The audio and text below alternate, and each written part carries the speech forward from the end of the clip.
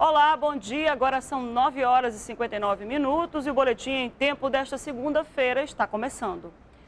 Exército fez revista hoje no complexo penitenciário Anísio Jobim. A medida é para detectar possíveis armas, celulares e drogas. Marquinhos e Pereira traz as informações.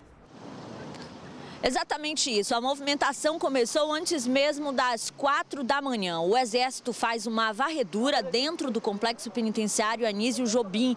E aqui fora o movimento é grande porque homens da Força Nacional, da Polícia Militar e também da Polícia Rodoviária Federal trabalham no controle de, da entrada de pessoas e veículos. Uma fila também se formou aqui do lado de fora, uma fila de funcionários da Humanizare, que é a empresa que administra os presídios presídios. Essa varredura já estava prevista pelo Exército, ela deve se repetir em outras unidades prisionais. E tem um detalhe também: eles usam aqueles equipamentos, aqueles aparelhos de raio-x e estão à procura de drogas, armas, materiais que podem ser usados como armas durante fugas. Marquilze Pereira, para o Boletim Tempo. Obrigada, Marquilze. E um homem de 24 anos morreu afogado nesse domingo na comunidade Jefferson Pérez, no Tarumã, zona oeste da capital. Segundo testemunhas, a vítima estava em uma canoa com um adolescente de 14 anos quando os dois se desequilibraram e a embarcação virou. O menor conseguiu se segurar em uma árvore. Já o homem, identificado como Afrânio, foi se distanciando da margem porque não sabia nadar. O corpo dele foi encontrado por volta do meio-dia por, mergulha... por mergulhadores do Corpo de Bombeiros e levado ao Instituto Médico Legal. Em Parintins, no interior do estado, três homens foram acusados, presos por tráfico de drogas. Quem traz as informações é Tadeu de Souza. Alô, Márcia, alô, amigos do Boletim em Tempo. Nós estamos aqui na terceira delegacia interativa de Parintins, onde há poucos minutos uma guarnição da Polícia Militar, ao comando do soldado Anderson Gomes, apresentou três pessoas, três homens. Eles são acusados de tráfico de drogas.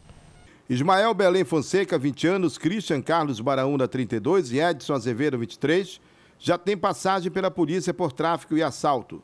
Em poder deles, a PM encontrou maconha e pasta base de cocaína. A prisão do trio aconteceu na zona leste da cidade. Depois de ser ouvido pelo delegado Bruno Fraga, os três serão encaminhados hoje para a unidade prisional de Parintins. De Parintins, Tadeu de Souza para o Boletim em Tempo. Nesse domingo, o corpo de um homem foi encontrado enterrado e com as mãos e os pés amarrados em um matagal na zona norte de Manaus.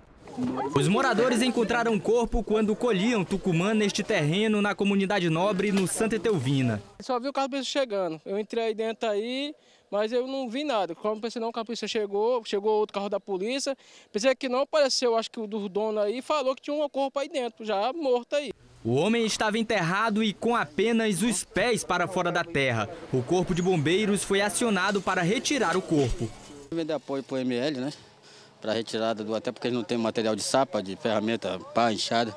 E nós auxiliamos nesse, nesse materiais e ajudamos também a retirar.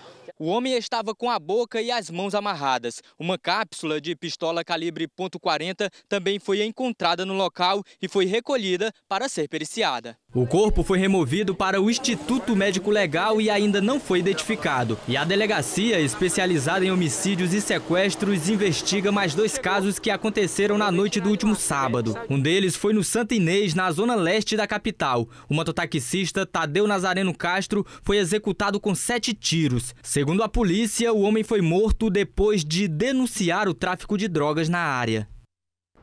Fim de semana com um jogo na Arena da Amazônia. Os torcedores fizeram fila para acompanhar a partida beneficente entre amigos do José Aldo e Rones Torres. Na chegada dos torcedores, só se ouvia.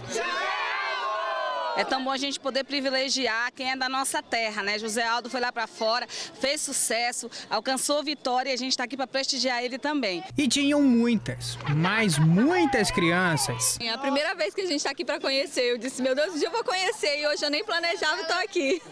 e até gente com dupla nacionalidade. Eu tenho uma, uma grande, um grande respeito pelo, pelos brasileiros.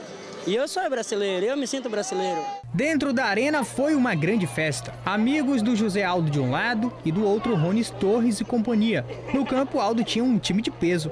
Destaque para a habilidade do ex-jogador Denilson, que marcou três gols. A maior parte dos jogadores de futebol também tem essa trajetória de sair da, de uma comunidade, numa periferia, em busca de um sonho. Muitos conseguem, outros não, né? Então a gente acaba se identificando um pouco com a história, cada um dentro da sua, do seu segmento.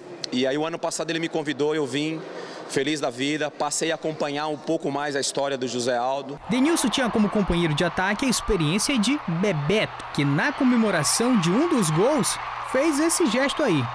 Exatamente a mesma imagem que Bebeto fez durante a conquista do tetracampeonato pelo Brasil em 94. Eu jamais podia imaginar que um gesto tão simples assim, né, mas de coração, de muito amor, pudesse se perpetuar assim ao longo desses anos todos. Né? Recheado de estrelas, o time de Aldo tinha ainda a categoria de Marcos Assunção. O nome mais importante da equipe de Rones Torres estava à beira do campo. O ex-zagueiro Mauro Galvão foi o técnico. Não fui eu que pedi né, para desligar o, as luzes, né? Porque o meu time fez o gol e acabou o jogo. Então não foi nenhuma tática. Literalmente no apagar das luzes. É, Literal... apagar das luzes. Foi muito legal, né? Ainda bem que foi pro nosso time. Mas as estrelas do espetáculo eram José Aldo Júnior, que fez de pênalti para o time dele, e do outro lado, Rones Torres, que também deixou a sua marca. Quando eu cheguei no vestiário aí, que eu vi a relação do time do Aldo, realmente eu fiquei com medo. Eu falei, pô, o cara só tem monstro no time dele, Bebeto, Denilson, entendeu? Só craque. Mas eu cheguei e conversei com o meu time também. Falei, ó, oh, meu irmão, é espírito de guerreiro, vamos correr atrás da bola, vamos correr mais do que eles e vamos sair vitoriosos. O jogo terminou 6 a 5 para o time de Rones Torres. O último gol foi no fim do jogo, literalmente no apagar das luzes.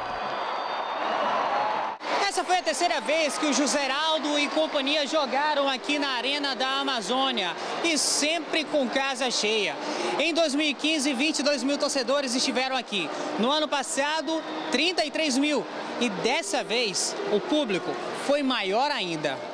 Além disso, mais de 42 toneladas de alimentos foram arrecadadas. Os donativos vão ser doados a comunidades carentes no interior do estado. Hoje, todos os convidados viram o carinho que esse povo amazonense tem é, com as pessoas que vêm fazer esse evento. Então, acho que o povo amazonense está de parabéns por isso tudo. Eu acho que não é é um jogo de validade nada, é um jogo festivo, sim, para ajudar o próximo. No fim, todo mundo saiu feliz. E esses dois torcedores mirins aí puderam ver o ídolo José Aldo. Eles são índios da tribo Ticuna e sonham em seguir os passos do lutador amazonense.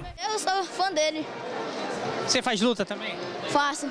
José Aldo ele é bom, é, eu, eu, eu chegar até onde ele chegou também. Boletim em Tempo Manhã termina aqui. Outras informações você acompanha daqui a pouquinho, às 10h50, no programa Agora. A gente se vê já já.